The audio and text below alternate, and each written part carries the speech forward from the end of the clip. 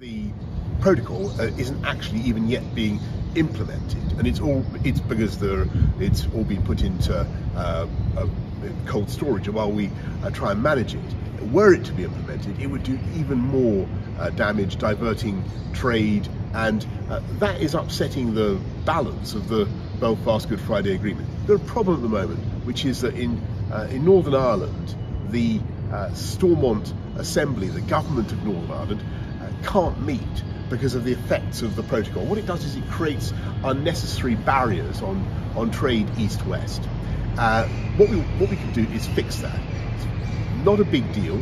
Uh, we can fix it in such a way as to remove those bureaucratic barriers, but without putting up barriers on trade moving north-south in the island of Ireland uh, as well. I think, I think our higher and our prior, our main international obligation is to Belfast Good Friday Agreement to the peace process in Northern Ireland, getting that Stormont Assembly up and running again. Every, Northern Ireland is, is fantastic, but it needs government. It needs, particularly now uh, when people are facing uh, pressures from the uh, global cost of living uh, problems with the energy price spikes, you need a government in Northern Ireland. You need Stormont up and running. So we've got a plan to fix it.